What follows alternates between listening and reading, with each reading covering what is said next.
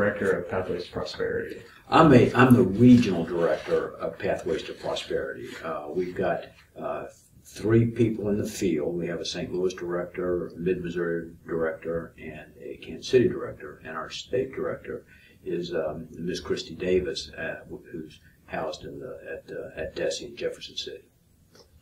Wow, I've got a lot of people. Yeah. Uh, in your own words, what is Pathways to Prosperity? Okay, well, Pathways to Prosperity is a it's a national initiative uh, that came about as a result of a report that came out in 2011, and uh, basically what it was asking it was asking the question: uh, Why isn't the United States doing a better job of preparing its young people for uh, for the 21st century workplace? You know, and it had it provides a lot of data. Uh, for example, part of their data indicates that uh, a large majority of our 18 to 25 year olds aren't aren't prepared well enough for the 21st century workplace. Uh, uh, just recently, a report came out that indicated that about 44% of those with baccalaureate degrees are underemployed. You know, they're not, they don't need the degree for the jobs that they had. And so the question was, is what is the United States doing or what can we do differently to help ensure that all of our young people have the opportunities and the and the, you know, the opportunities for a successful post-secondary transition into uh, high-wage jobs that uh, you know can lead to meaningful careers. Hmm. That's a lot. Like, Mm-hmm. I know a couple people here that don't have jobs and they're great at what they do. Mm-hmm. Pretty amazing. Uh, what is the goal that you're trying to accomplish with Pathway Prosperity? Well, I think the goal is uh, what the goal is uh, looking at what we can do to help ensure that all of our kids, all of our students are having successful post-secondary transitions. And uh, so part of it is looking at asking the question, well, what can schools do? And, and one of the things that we're finding out is that schools are doing a lot of good stuff you know and so but the question is what can we do uh, to maybe even better so that we can help more kids? So it's really not adding on to anything else that schools are already doing. It's more or less asking the question what can we do better to help ensure more kids are successful and part of that is helping our students and our parents understand what the broad range of educational opportunities are after high school there's no question that uh, we're going to need that, that students are going to need more than a high school diploma in order to earn mean, a meaningful career, to have a meaningful career and to earn meaningful wages. And, uh, and so what we have to take a look at is what does that mean beyond high school?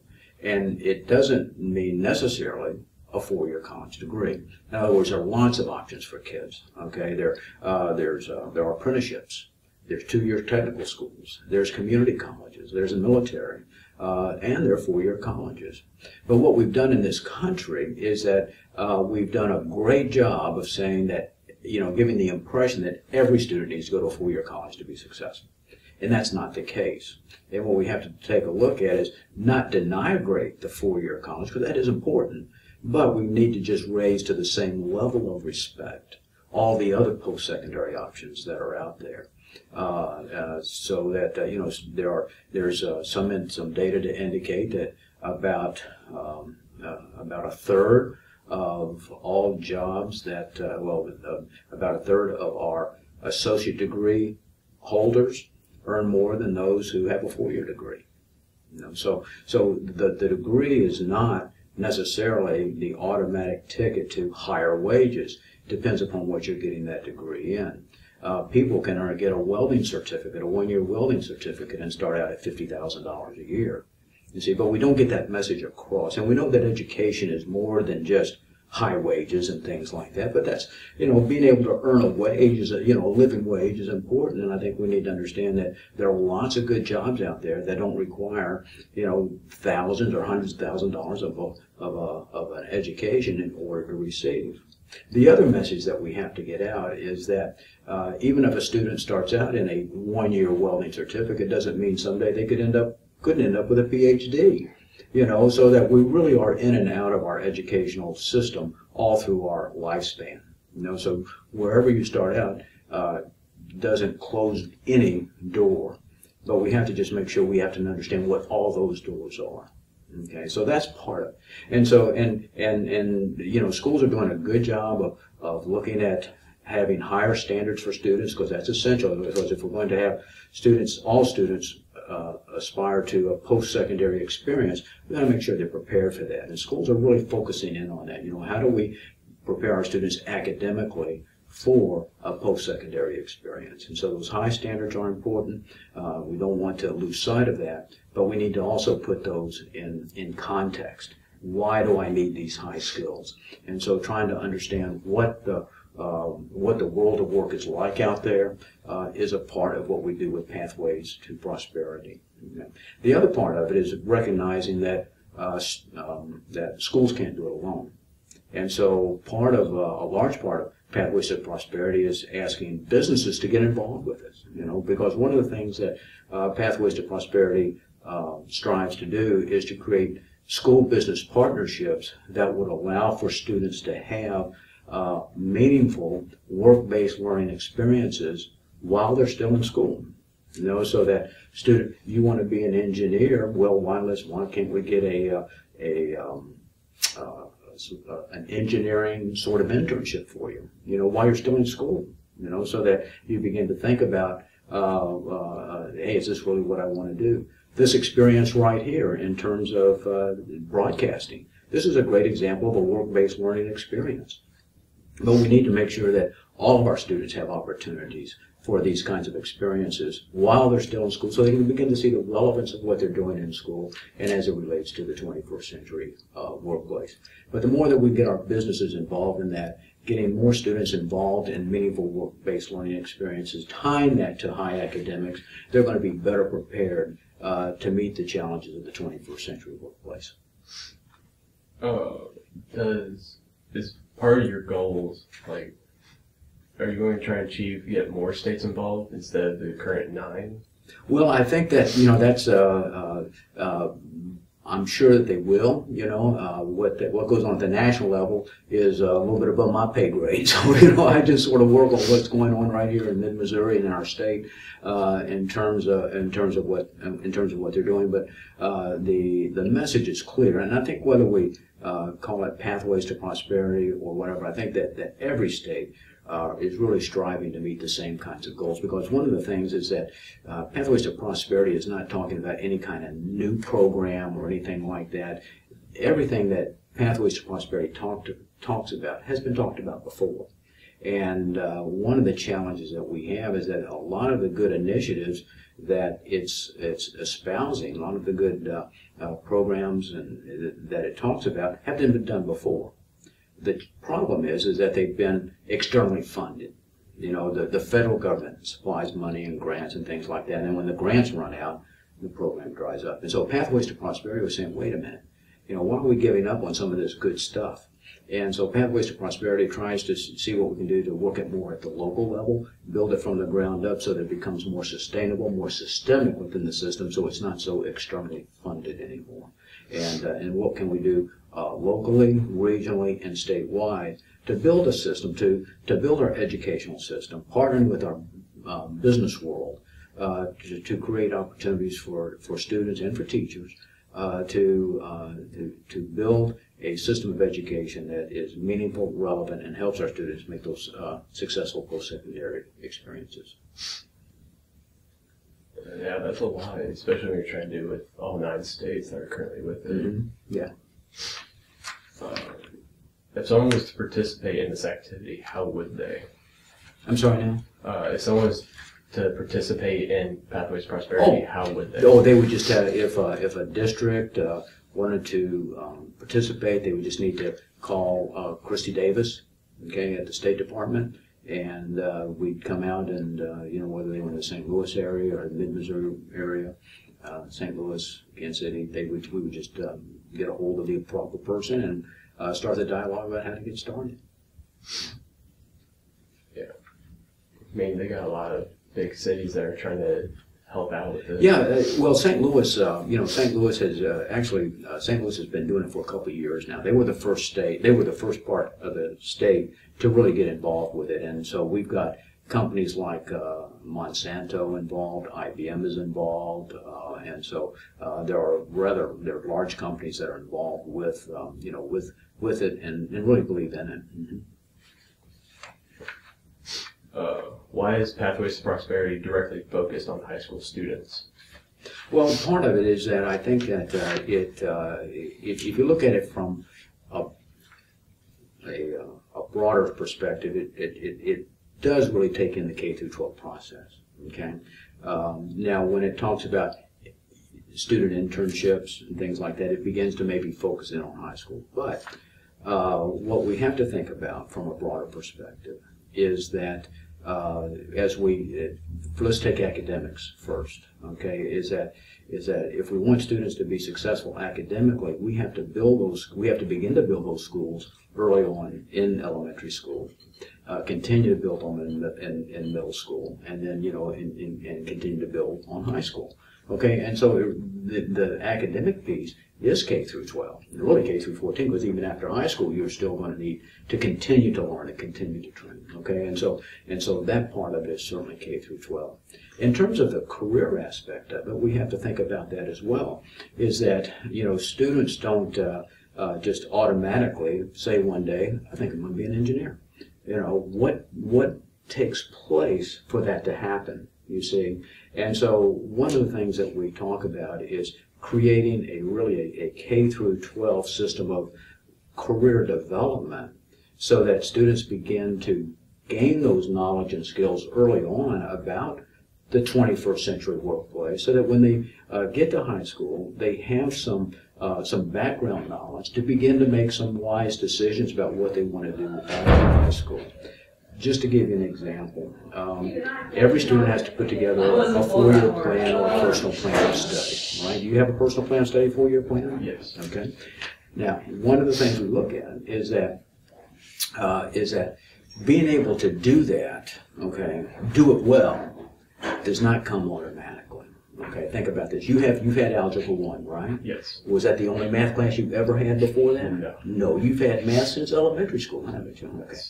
Sometimes when we put together those personal plans of study, in some cases, what we do is in eighth grade, we put this piece of paper in front of an eighth grader and say, here, fill it out, you gotta make your personal plan of study. But what have we done to help them get ready for that? You see, in order to be thinking about, what do I wanna do with my life? See?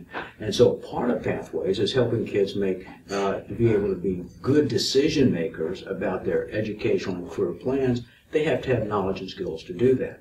And that can really start in elementary school as well. And we begin to think about, you know, we talked about work-based learning experiences. Well, I like to call it age-appropriate work-based learning experiences because they're work-based learning experiences you can have in elementary school.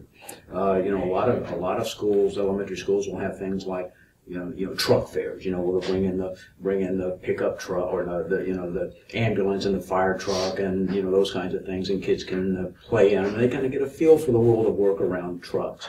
Or you might have a, you know, a lot of schools have Halloween parties. Okay, well, rather than dressing up in creepy stuff, okay, maybe they'll dress up in uh, uh, in careers that they aspire to. You know, things like that. So there are things that you can do, and and and you know, I, I think that you know, even in, in the classrooms, you have helpers. You know, maybe you have the eraser helper.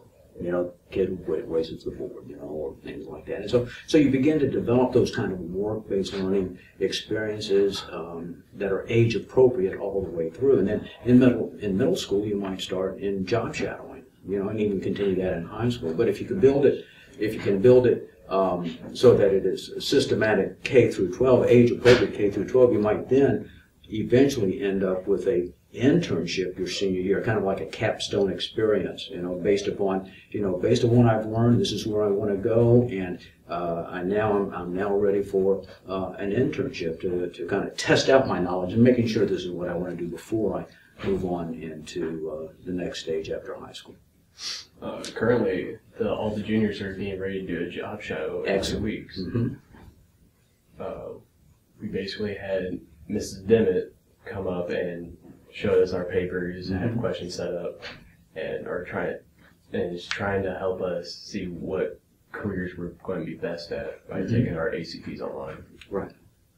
Yeah, that's, and we have, and a lot of schools, and I, I think uh, Centralia has Missouri connections, you know, which is uh, it's an online educational career planning tool where you can do career assessments. You can put your personal plan of study on it. You can practice ACT on it. You can do those kinds of things. And again, helps in if that's introduced at the at the middle school level. You know, here you've got uh, you know five or six years. You can begin to continue to explore.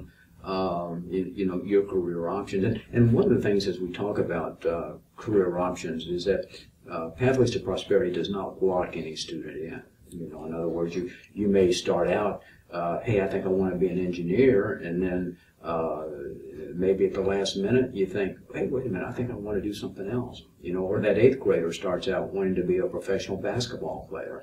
All right, well then maybe, and then maybe in the ninth grade year wants to go into the health field, but then maybe by 10th or 11th grade, think, no, maybe I want to go into business, and that's okay.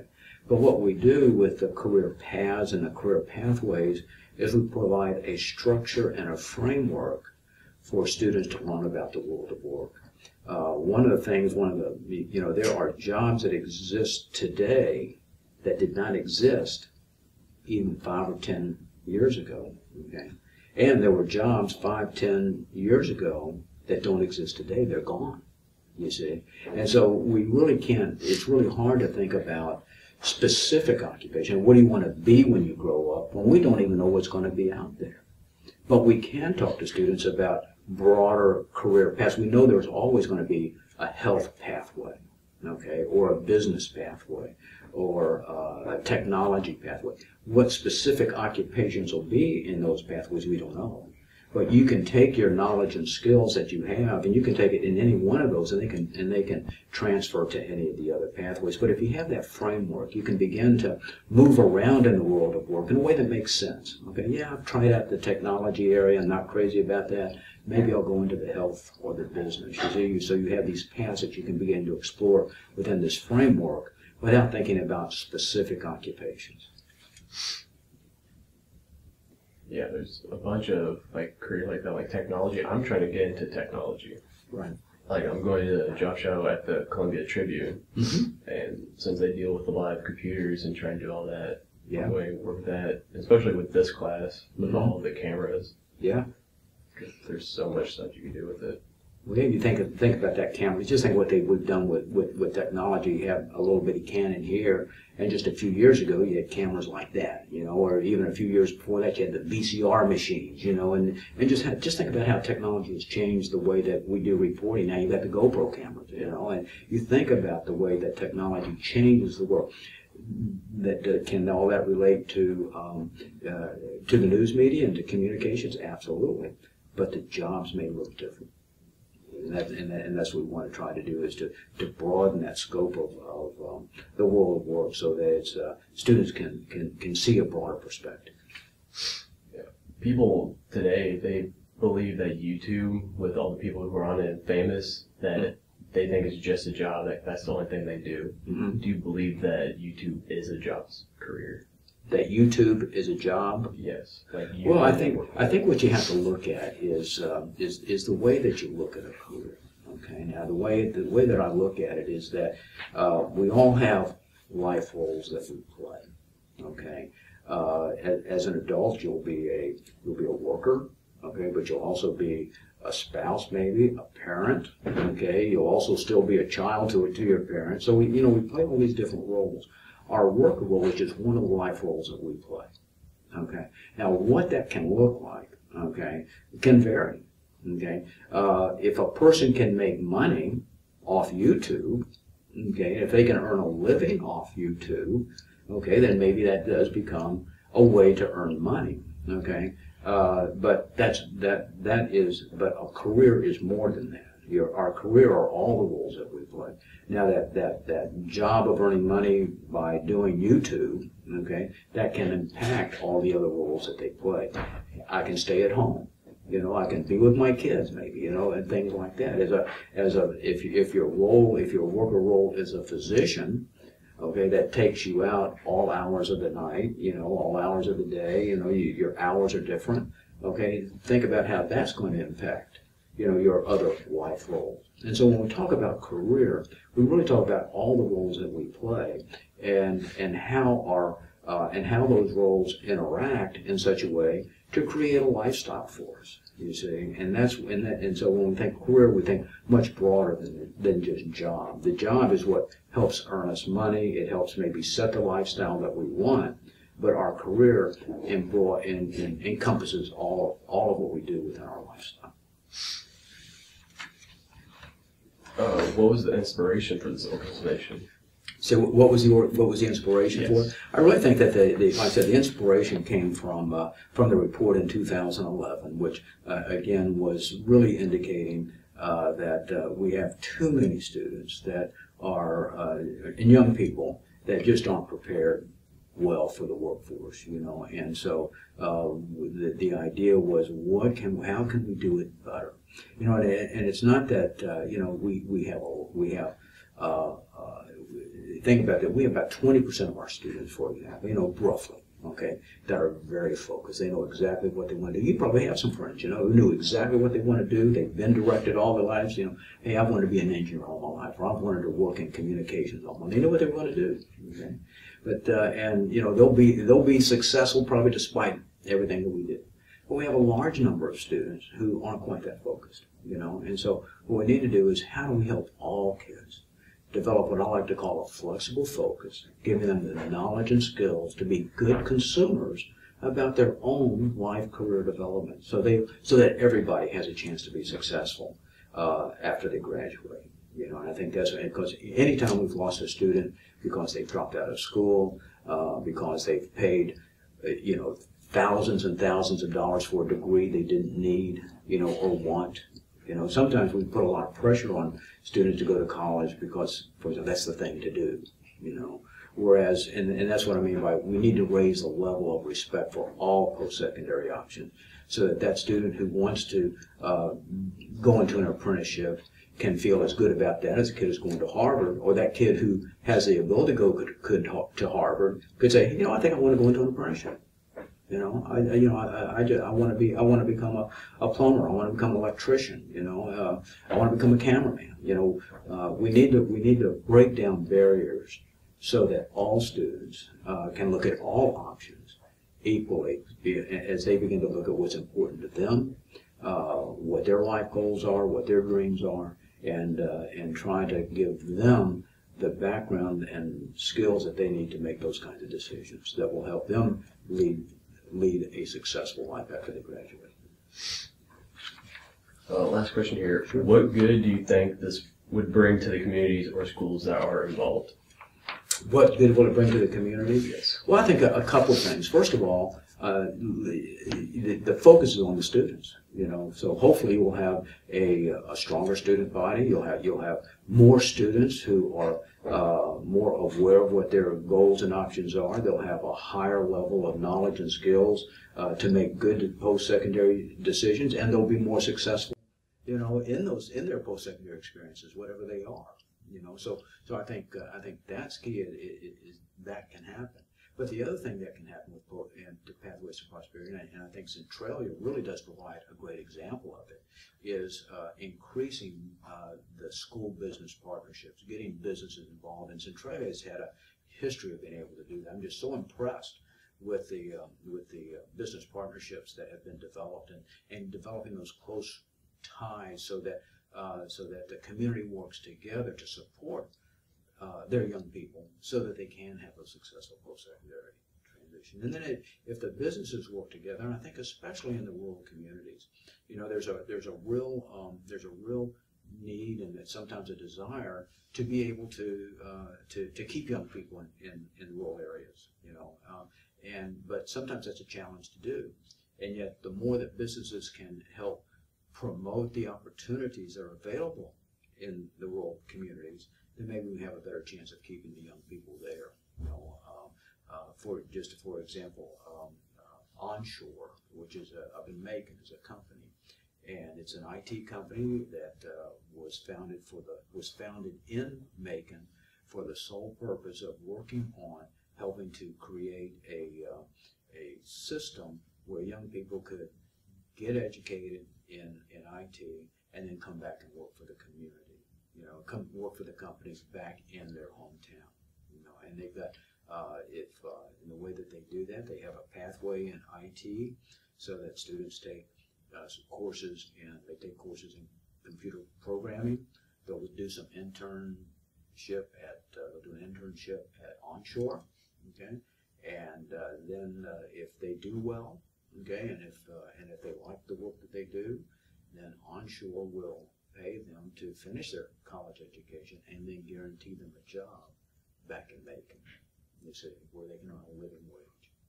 And so it's building those kinds of relationships, you know, that, uh, that happen. I know that, uh, you, you know, the community here, uh, I think has an interest in doing that. And so, and so building those partnerships, uh, that, uh, allow opportunities for young people to, to stay in a, uh, to stay in a, their, their communities, raise their families, have a living wage. That's an, another thing that I think that uh, Pathways to Prosperity, one of the advantages I think of, of belonging to the Pathways Network. Uh, you got any final thoughts on this interview? Or Whatever you like to ask me. uh, like, do you have any general thoughts about what Pathways is about? Like, currently the high school does Panther Pathways, which is similar because it has the business come in.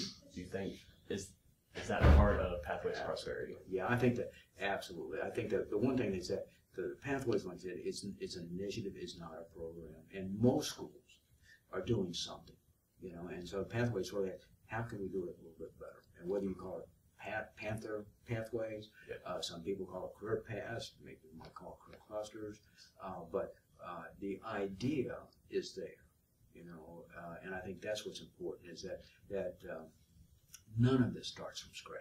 Okay, uh, that uh, we just take we take a look at what's going. One of the things that Pathways to Prosperity does, you know, let's take a look at what's going on in the schools. Okay, now what's going on in the community now, and are there things that we can make better? You know, and and that's what we ask. It's not saying, okay, now here's something else you have to do in terms of what you're already having being asked to do.